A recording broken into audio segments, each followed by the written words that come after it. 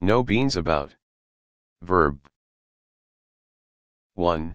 Chiefly us, in negative constructions, to know something, even if only a little, about.